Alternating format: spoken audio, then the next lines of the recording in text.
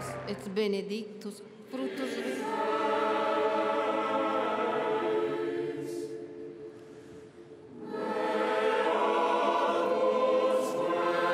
misericordia Tue, Pater clementissime, Papa memeritum benedictum committimus.